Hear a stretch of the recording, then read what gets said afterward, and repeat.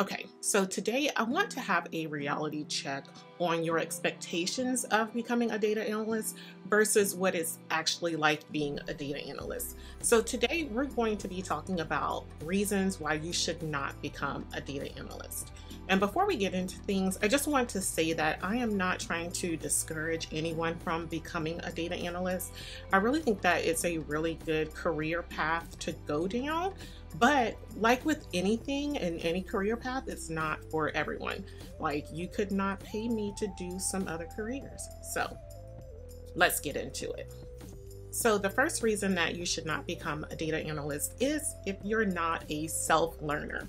In this role, you really have to learn a lot on your own. So if you're someone that may need a lot of hands-on help in order to complete a task, this may not be the best fit for you. Things are constantly changing and there's a ton of things that you have to learn on your own. In my situation, I came into this role with no prior experience in data analytics. So I had no I had no training on SQL or how to use any of the data visualization tools like Tableau and Qlik, and I know a lot of people use Power BI. I had no experience on using any of those tools. So for me, I had to do a lot of self-learning on my own. Yes, I did get to do some like side-by-sides and watch um, a peer that's on my team as well as watch my manager when he was doing some of his projects.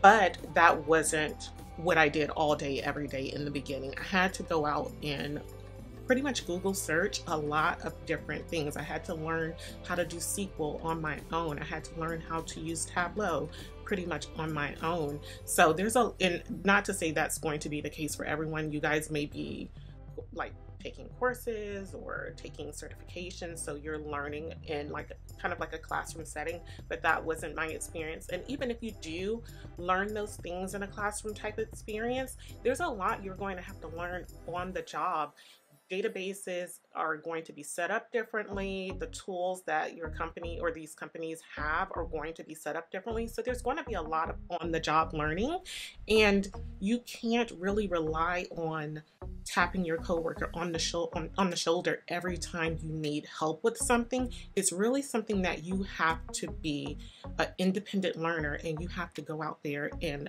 get the answers to the information. Your first thought should not be, let me ask my coworker the answer to this and see if they're going to figure it out or see if they can help me out with this. Your first first thought is really having to be, let me go and search and try to find the answer to this on my own because everybody's busy. In my role, for the most part, myself and my team, we're doing a lot of solo projects. So they are working on something completely different than what I'm working on. So everyone is busy and has their own thing going on.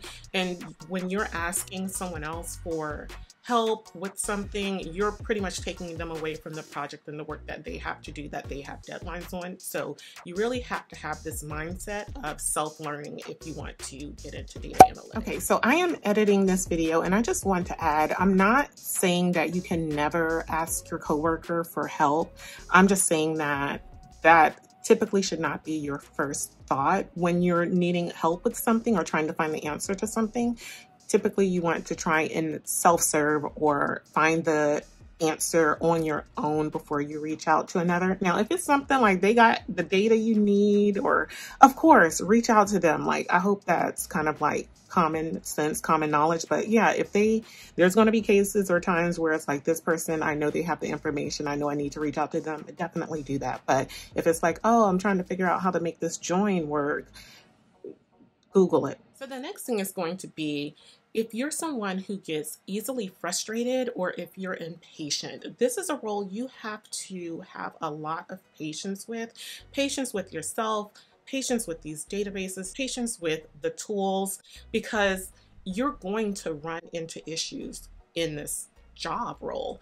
You're going to have problems with coding, with debugging, with trying to find a freaking data source sometimes. Like everybody's trying to find out where the data is. There's like hundreds of tables and views that are out there, and that can be frustrating trying to locate data. It can be frustrating trying to debug your code, trying to figure out why things aren't right. It can also be frustrating working with others when you're waiting on them to provide you with information or you're waiting on a client to sign off on a project or you're dealing with a client that is constantly changing their mind on what they want and that can be frustrating having to deal with someone that doesn't know what they want and you're having to kind of insert into their project when they should be when they should have that ready for you but that's not how this works out all the time so you may have to go through a lot of trial and error working throughout the project and your visualizations and working with stakeholders and clients so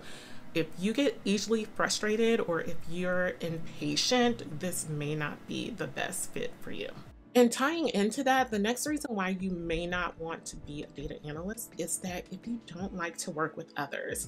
I know for me, when I first got into this role, I didn't think that I would, and this also ties into communication, you guys, but when I first got into this role, I thought, you know, like I always see people on their computers typing with their headphones on. I didn't think that they interacted a lot with others, but you really do. The lines of communication have to be open all the time throughout a project.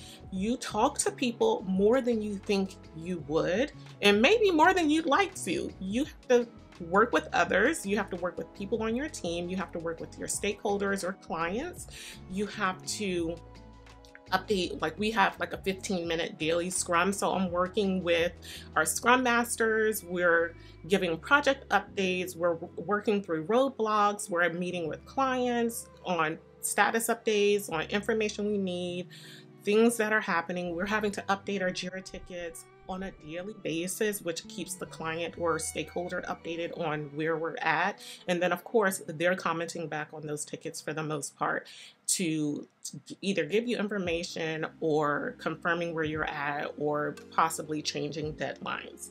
You're going to be working with a lot of people throughout your career as a data analyst. So if you're if you're not a fan of talking to people, if you're not a fan of working with others, this just may not be the role for you. So, the next reason why this may not be the best fit for you is that you think that you're going to get rich off becoming a data analyst. I feel like there's this common misconception that when you get into data analyst, like you take one of like the um, data analytics certifications, you are going to get into an entry level role making 100,000 per year. Now, I have seen videos of people saying like they got their first data analyst role making 100K, but please understand that is the exception, that is not the rule. On average, data analyst roles are between 60 to 80K. Like just go out on Indeed, go on LinkedIn, look at some of these job postings. I've seen some in my area that are as low as 40K. And when you look at and read the job description, what they are really describing that they want is a data scientist, not a data analyst. So be mindful of that. Typically, you'll you're gonna see like a senior data analyst or above making like 90K plus or even six figures on average. That's not typically the average of someone just getting into data data analytics. So if you're doing it thinking, oh, I'm going to take this certification course and then I'm going to start a job at 100K, please go look at job listings before you wait. Like it uh, to me, before you waste your money thinking that you're going to take this course and then just go into a 100K job, because that's typically not the case. Average 60 to 80k range for a data analyst which is still great money and you can advance as you get into the role longer. You can make more money and get into those higher ranges but typically starting I just want to say like that's not the norm. That's the exception. That's not the that's not the rule. So I encourage you go out there, look at the job listings, see what data analysts or companies that you want to work for or just local to your area are making to see if that's something you want to pursue before you invest your time and your money into this. I hope that this information was helpful to you if you're thinking about becoming a data analyst. Just some things to consider. If you have some other points for anyone looking to get into this role, please go ahead and drop a comment down below and I will see you guys in my next video. Bye.